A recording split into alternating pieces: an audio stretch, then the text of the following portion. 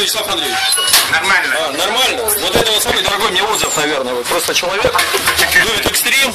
И вот в прошлый раз он сказал говно, было холодно. А сейчас не говно? Ничего? Сейчас хорошо. Вот, спасибо большое. Самое главное, что хорошо. Спасибо большое. А купнуться Нет, я такой, я такой. Ну так, не говно печь кондиционер, сказал Вячеслав Андреевич. Еще раз скажите, не говно. Нет, нет, Все, спасибо большое. нет.